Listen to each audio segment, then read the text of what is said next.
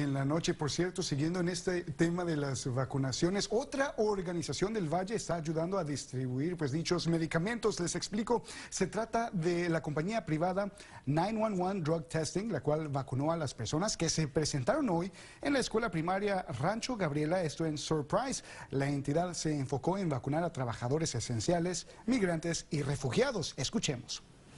Hoy tenemos hasta la, vamos a estar aquí hasta las 5, se pueden venir y después vamos a tener la segunda dosis el 15 de mayo, a la misma tiempo, en el mismo sitio. So, por favor, ven, trae su familia, trae a las personas, los padres, las personas que necesitan ayuda, que no han, no han podido venir, tráigalo. Eh, tenemos aquí a personas que lo puedan ayudar en español.